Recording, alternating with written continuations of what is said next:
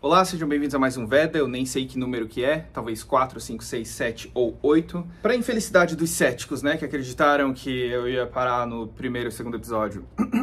Leozinho está por trás das câmeras. Eles não estão te vendo, eles têm que fazer algum som. Oi, tudo Muito bem? Muito bem, amor, muito obrigado. Como vocês podem ver, eu tô no meu estúdio antigo, a gente veio pra Tubarão resolver umas coisas. E é isso, tá cheio de caixa aqui porque eu vou. é, A gente vai ficar indo e voltando e eu vou ter que. Eu vou precisar de um lugar aqui pra trabalhar, então é tudo isso que vocês precisam saber por enquanto. Vou tirar esses óculos porque tá refletindo ali a janela. E no vídeo de hoje, Leozinho escolheu perguntas que vocês fizeram, que eu devo responder com 100% de sinceridade, não posso pular a pergunta, não sei o que, que ele vai me perguntar. E é isso. Só coloquei essas regras aí pra ser um pouquinho diferente do que um de um vídeo de perguntas e respostas comum. A primeira pergunta é de Giliard Brandão. Luba, você se sente realizado, tanto profissionalmente quanto na vida pessoal? Sim e não. Eu sinto que eu conquistei tudo que eu queria conquistar, o que faz eu me sentir realizado, só que ao mesmo tempo é como se minha cabeça não parasse e eu estivesse procurando outra coisa para me realizar mais uma vez. Não sei se é do TDAH, não sei se é de personalidade, não sei do que que é, só sei que às vezes eu me sinto assim. Porém, eu me sinto extremamente realizado. Eu acho que não tem nada na minha vida que eu gostaria que fosse diferente sabe? Porque tudo que eu tô passando, todas as etapas que eu tô vivendo, contribuem pra, sei lá, pra minha felicidade, digamos assim. Então, sim, eu estou realizado. Só que eu estou procurando outras coisas para ficar realizado de novo, se é que faz sentido. Segunda pergunta de Guilherme Matsuoka. Hã? Guilherme Matsuoka. Tá. Luba, Hum. se pudesse escolher apenas um, qual seria o seu Pokémon favorito? Mil. Que foi que tá me olhando com essa cara de julga, julgador aí? Ué, o Mil Tá. sabia que o Mil tem o DNA de todos os Pokémon? Sei. Então, nele, é como se ele fosse todos os Pokémon. Então, Uhum. é claro que eu vou escolher ele, porque ele é a representação de todos pra mim.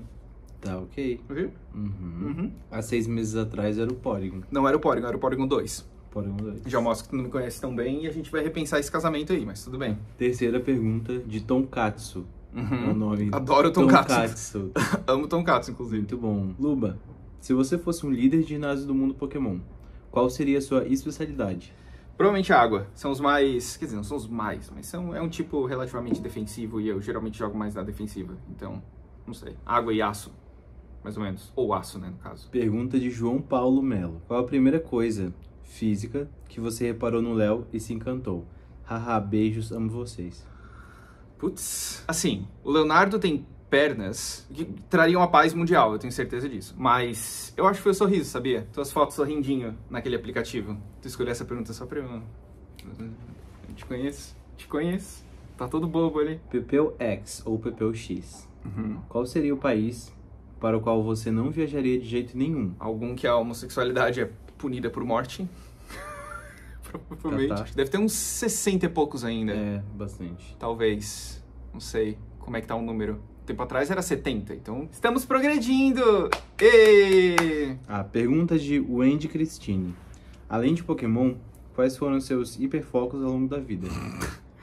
Acho que Pokémon não foi hiperfoco. Que hiperfoco geralmente é uma coisa que ela dura pouco. Sabe? Tu tem muito hiperfoco em uma coisa, mas daqui a pouco aquilo ali desmancha já. Pokémon sempre foi estável e teve momentos que, que eu tive talvez mais interesse e depois diminui. Geralmente eu tenho mais interesse com jogos novos. Como não tem nenhum muito novo agora, então não tenho muito, muito interesse assim em, em tudo relacionado a Pokémon. Mas outros hiperfocos, vamos lá, amor, me ajuda. Eu tive um certo hiperfoco no Bilbo No adestramento, né? no adestramento do Bilbo, eu tava muito preocupado com qualquer coisa que a gente fosse fazer que fosse desaprender ele, desensinar, no caso, né? Que ele Sim. fosse desaprender. Então eu tava neurótico com isso já, tava chato. Eu tive hiperfoco no Japão. No Japão, isso que eu ia falar. Eu tive hiperfoco. Eu acho que eu tive hiperfoco em ser padre, tá? Eu tenho Pode quase. ser. Tenho quase certeza que sim. Tive hiperfoco. Não sei se eu tive hiperfoco em exercício físico no crossfit, acho que não, porque foi bem prolongado Uhum. que mais? Eu tive hiperfoco no trabalho já por muito tempo prolongado mesmo, porque era, eu acho que teve momentos que eu tive hiperfoco, mas eu sempre fui meio workaholic e agora eu já, sei lá, diminuiu, eu acho. Acho que eu não sou mais. Eu vivo a vida no caso. Que mais? Eu acho que esses. Acho que esses talvez. Eu já tive hiperfoco em pessoas. Pessoas não muito legais no passado. Acho que é isso. Também não tô lembrando de outros. É, eu acho que foi isso. Hum, tá. Então vamos pra outra. Quer dizer, eu tive vários mini hiperfocos também, tá? Mas a gente não precisa entrar em super detalhes. É, não, só os É, por exemplo, eu tive um mini hiperfoco um tempo atrás. Acho que faz umas 3, 4 semanas que eu queria, dec- eu decidi aprender tudo sobre programação. Só que quando eu vi que era muita coisa, além do que o meu, hiper- meu hiperfoco ah, conseguiria aguentar, eu desisti. Mas eu aprendi umas coisinhas de Python até, achei Verdade, legal, achei bem legal. Luísa Vieira mandou. Ah, coceirinha aqui? Desculpa. Até fiz um furo na minha barba. Luísa Vieira enviou. Eu não consigo não desver esse furo! Ah, é porque tá vermelho. Pode ir. Luísa Vieira mandou. Luba, qual o país que você não visitou ainda e tens vontade de ir? Putz, aí tem uma lista gigantesca, né? Fale um e explique por quê. Suíça, eu acho É. Suíça linda. Shin. África do Sul, Coreia do Sul, Tailândia, China, que mais? Muita coisa. Não consigo listar todos, mas eu acho que o que eu mais tenho vontade de visitar hoje, que eu não visitei ainda, ah, acho que seria a Suíça, tá? É, nossa, muito lindo. Acho que seria lá, Suíça. Meu Deus. É. Ou Finlândia, pra fazer um daqueles acampamentos que tu vê a aurora boreal. É, muito É, eu acho que esses dois aí, acho que esses são os top dois. A Ellen enviou. Luba, se fosse, se você fosse escolher um universo de alguma saga ou alguma Senhor dos Anéis. pra viver, qual você escolheria? Senhor dos Anéis, Terra-média. Tá, deixa eu terminar a pergunta aqui. ó. É que eu já respondi essa pergunta um milhão de vezes na Esquiluba. Sério? É, Senhor dos Anéis, com certeza. Toda certeza. Eu dizia, eu costumava dizer que a minha vida inteira é um sonho que daqui a pouco eu vou acordar lá na minha vila de Hobbit. Que Eu namoro um Hobbit hoje. Amor, eu te amo tanto, vem cá. Valkyrion, Quê? Matheus, Valkyrion. Matheus Valkyrion? É. Descolado? Anda com uma espada e sei lá. Luba, qual foi a pior parte de jogar barra participar do RPG do Selbit? Pior parte, viajar pra São Paulo. É, toda semana, né? Viajar pra São É Paulo. cansativo. Terrível. Bela e Flavinha Ruiz mandaram. Uhum. Pretendem ter filhos futuramente? E quais os maiores desafios que vocês acham que passariam com o Bilbo e a Gala com essa mudança? Acho que a gente não teria muito desafio se fosse ter um filho, porque a gente, modéstia à parte, nós somos bons educadores animais. O Bilbo foi um bom. A gente tá falando do filho. Não, da adaptação. Eu acho que a gente não teria muita dificuldade de adaptação, não. Porque nós dois somos pessoas que gostam de buscar as pessoas certas para perguntar sobre isso. Então a gente faria uma adaptação normal. Não acho que teria muito desafio aí, não. Talvez com uma criança junto, aí fazer essa adaptação, aí talvez seria complicadinho. Porém, se a gente pretende, sim e não. Tem vezes que a gente pretende, tem vezes, tem vezes que a gente não pretende. Tem vezes que a gente pretende muito, tem vezes que a gente não pretende nada. Então, não- a gente não sabe, na verdade, né? É, quando a gente se conheceu, a gente falava, lembra que a gente até conversou numa hamburgueria, nossa, eu com certeza tenho um sonho de ser pai. É, e daí nós dois, a gente era amigo ainda, Uhum. lembra? E daí a gente conversou, ah, eu quero ser pai. Daí tu, ah, eu também quero ser pai. Daí a gente ficou nessa, assim, daí, tipo, Uhum. uma semana depois a gente começou a ficar. E aí, hum, vamos, vamos pensando, vamos conversando. Mas hoje, sei lá, hoje não, né? Por hoje não. É, hoje não, Fábio. É que tem outras coisas na vida que a gente ainda quer fazer antes. Bastante. Porque no momento que a gente tiver um filho, Acabou a vida. é, não acabou a vida, mas acabou a vida. Catástrofe. É. Luba, você sente saudade de fazer seus, seus shows? Matheus Andrade mandou. Eu sinto falta do show em si, porque no momento que a gente pisa no palco e tem a plateia, e aí a gente faz o show, é incrível. É uma das melhores sensações do mundo. Porém, o que envolve fazer um show é que não me agrada e que é o, provavelmente o motivo que eu não vou fazer de novo. Ou provavelmente não vou fazer de novo. Não vou falar nunca, porque, né? Tava aí dizendo até semana passada que nunca faria um tour pela minha casa. Então a sensação de estar no palco é incrível, mas, por exemplo, as viagens que nunca acabam, os 10 aviões por semana, às vezes, vai. Dos tempos aí.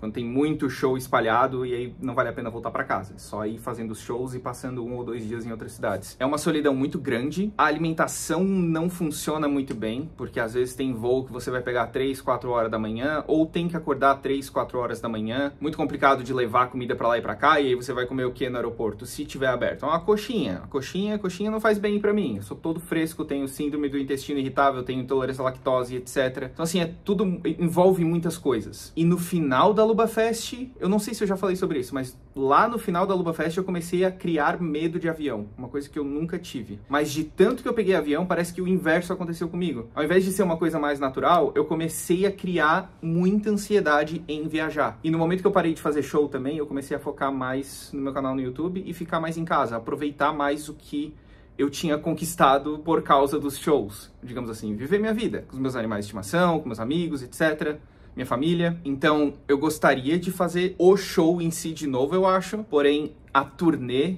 já não é uma coisa que, sei, é muita, é muita solidão. É muita solidão. Ai.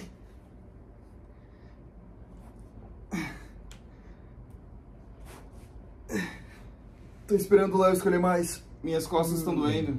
Will mandou.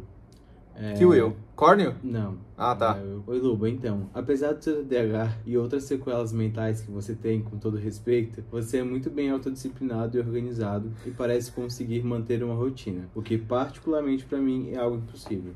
Você teria alguma dica para lidar com a procrastinação? Ah, tá, vamos lá. De fato, eu sou... Sequelas. O que, que é? Sequelas mentais. De fato, eu sou bem disciplinado com a maioria das coisas, viu? Derrubei vocês. Ai, meu Deus. De fato, eu sou bem disciplinado com a maioria das coisas. Só que eu acho que é porque eu encontrei uma coisa que realmente me dá muita paixão de fazer. Muita mesmo. Agora, parar com a procrastinação, cara, é que tipo assim. é- A disciplina é o oposto da procrastinação. Você não quer fazer, você não tá afim, você tem um milhão de outras coisas que você gostaria de fazer naquele momento, mas você vai ali e faz, mesmo assim. Mesmo empurrado, mesmo brabo, por quê? Porque aquilo ali vai dar resultado. Então, uma coisa que me ajuda a me afastar tanto da procrastinação quanto do hiperfoco ou de outras coisas que me distraem, digamos assim, é pensar nos objetivos das coisas. Por exemplo, eu quero jogar videogame? Ok, mas eu tenho outras responsabilidades? Tudo bem, eu posso fazer essas outras responsabilidades que depois eu vou jogar videogame o quanto eu quiser. E é fazendo essas outras responsabilidades que eu consigo jogar videogame o quanto que eu quiser. Entendeu? Faz sentido? O que mais? Eu tinha outra dica pra procrastinação. Ah tá, pensar no objetivo e também pensar no resultado. Na época em que eu tinha começado a fazer exercício físico, foi mais por uma necessidade do que qualquer outra coisa. Eu tava com, como é que é o nome? Esteatose? Gordura no fígado? Sim. É, esteatose, gordura no fígado. Eu tava ah, com vitamina muito baixa de... de Tava com várias vitaminas baixas e aí eu tive que melhorar a minha alimentação. Desde que vocês caíram, a câmera tá super torta. Tá vendo? Isso aqui, é- isso aqui é um TDAHzinho. Pronto. Foi? Resolveu. Eu comecei a me alimentar melhor e automaticamente, quando eu tava começando a fazer exercícios físicos, que foi quando eu comecei a me alimentar melhor, eu comecei a fazer exercícios físicos de uma maneira melhor. E exercício físico, para pessoas com TDAH, eu aprendi que funcionam mais quando você lida com superações. Por exemplo, corrida. Quando eu comecei a correr, eu corria durante 3, 4 minutos e tinha que parar para descansar, porque senão eu ia morrer. E depois, quando eu comecei a correr 10 minutos sem parar, eu pensei, calma aí, eu tô progredindo? Depois eu corri 15, depois 20, depois partiu para sei lá, 6 km em 40 minutos a gente fazia, né, amor? Sim. Era praticamente isso, 5,5, 6, 6 km por a cada 40 minutos. Então, quando eu cheguei nesse nível, eu pensei, cara, compensou, valeu a pena. Então, fazer exercícios que trazem essa sensação de superação me ajudaram muito, porque daí eu me, eu me empolgava cada vez mais, porque eu conseguia ver resultado de verdade, tipo, eu via o número de resultado, entendeu? Então, é isso. E outra dica também é fazer checklist. Eu amo fazer checklist, eu tenho toda a minha organização no Notion, que é um aplicativo incrível, perfeito para organização. Eu tenho toda a minha vida lá, né, amor? Eu fiz até um Notion para mim e pro Leonardo lá, com lista de mercado, enfim. Eu gosto de organizar. Eu tive hiperfoco um pouquinho em organização. Tempo atrás também, eu acho. Acho que eu tive um pouquinho. Mas enfim, checklist é uma coisa que ajuda muito. E não exagera na checklist. Não põe a checklist da sua vida inteira. Põe daquela hora, daquela manhã, daquela tarde, daquele dia. E aí vai progredindo. A maneira que eu tenho é o que eu preciso fazer de responsabilidade mesmo, né? Preciso. Ah, do dia e depois da semana do lado. Aí eu penso assim, hum, hoje até que tô de boa de tempo, então vou pegar uma das coisas que eu tenho pra fazer nessa semana e já vou fazendo agora, entendeu? É basicamente isso, mas assim, ó, não tem muito segredo pra disciplina. É, é ir e fazer. E eu sei que é difícil, porque eu também tô me desafiando nisso aí. Apesar das minhas sequelas mentais, consegui, né? Sequelas. Consegui responder. Ah, Marcos Paulo de Oliveira Filho. Não tem mais nenhum outro nome? Tem, tem reticências depois? Parênteses e reticências? Vamos lá, tem uma crise de riso com os quatro nomes da pessoa. Vai lá, o que, que o Marcos Filho, Paulo Coelho, é, das Neves, Silva Souza quer? Luba, você sente falta de tubarão? Leonardo morreu, peraí. Luba, você sente falta de tubarões na sua vida lá? Ah, sim e não, né? Às vezes sim, às vezes não, mas... Eu sinto muito saudade. Não sei por que que eu ri. É, deixa eu pensar. Sim, tem muita coisa que eu sinto falta aqui, mas quando eu tô aqui, tem muita coisa que eu sinto falta de lá. Mas é que Tubarão é uma cidade relativamente tranquila e que tudo é perto. Isso é que faz a maior diferença pra nós. A gente quer tomar um café, tá a 3, 4 minutos de distância, sabe? Um café, cafezinho que daí tem bolinho e essas coisas assim. Florianópolis é tudo longe, infelizmente. E muito trânsito. Puta que pariu. Jéssica Santos. Hum, Cadê a tia Carminha e o Otto? Visitam muito, saudade deles nos vídeos. acabamos de ver eles, né? Hoje, dia 4 de abril, quando a gente tava gravando esse vídeo, é aniversário da minha mãe, inclusive. Faz tempo. Nossa, faz muito tempo que eles não aparecem. Diz que É. agora com a mudança também. Eu vi uma galera aqui cobrando pra tu gravar com tua mãe. Cobrando. É. Amo. Cadê? Eu me inscrevi nesse canal agora, quero, né? Por que cadê? você não grava mais com a tia Carminha? Perguntaram assim. Então, não sei por que, na real. Dá pra gravar um veda com ela. Hum, vou ver se ela quer também, né? Porque às vezes as pessoas. Por que, que tu não grava mais com ela? Às vezes ela só não quer. É. Só não quer, não tá afim. Mas realmente faz bastante tempo. Eu acho que o último vídeo que eu gravei com os meus pais, que envolvendo os dois, no caso. Aliás, envolvendo meu pai, foi uma publi da manual. Foi a última coisa que eu É, gravei com, com eles. E a minha mãe, eu não lembro quando é que foi a última vez que eu gravei com ela. É verdade. Eu vou ver se ela quer fazer um Veda. Tá bocejando. legal. Por quê? Já, já deu? Eu não tô bocejando. Tu bocejou, tu Eu não assim, bocejei, eu tava olhando lá pra fora. Aham, enquanto bocejava pra disfarçar. Dá pra, as pessoas acham que disfarçam bocejo, mas não disfarçam não, porque as pessoas ficam assim. Aham. Will L. De Carly. Quê? Pergunta... De Will- Carly? É, Eu entendi iCarly. De Carly. Sei lá, né? Pergunta rápida. Se pudesse apenas escolher três palavras pra definir o seu dia de hoje, quais seriam? Calor. Cansaço físico. Já são duas. Então, calor, empolgação, paz. De paz, no caso. Não paz. Apesar de ter. A gente emoção dos meus pais. Mas é isso aí. Luciana Madeira. Não morar no Rio ou em São Paulo impacta ou impactou de alguma forma no seu trabalho? Percebo vários influenciadores se mudando, pois dizem que é preciso estar no Rio ou em São Paulo para as coisas acontecerem. Não é preciso. Não precisa, não. É mais trânsito ainda. Se eu acho Floripa muito trânsito, imagina São Paulo. Imagina Rio de Janeiro. Se eu tô reclamando do calor em Tubarão, imagina no Rio de Janeiro. Sim. Não dá, não. Não, mas respondendo sério. Vou responder sério. Ah, no começo, ali, talvez, não, não tão no começo, né? Mas ali, 2013, 2014, é que foi essa leva pra São Paulo, basicamente. Que eu faço parte dessa... Isso não é bocejo?